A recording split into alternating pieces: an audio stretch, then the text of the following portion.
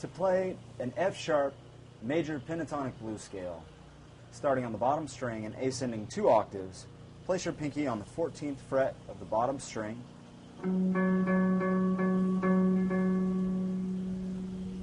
And your scale should sound like this.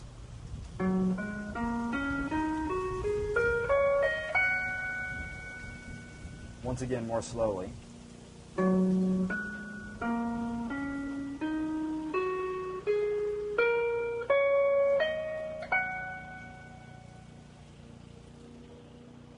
Now ascending and descending.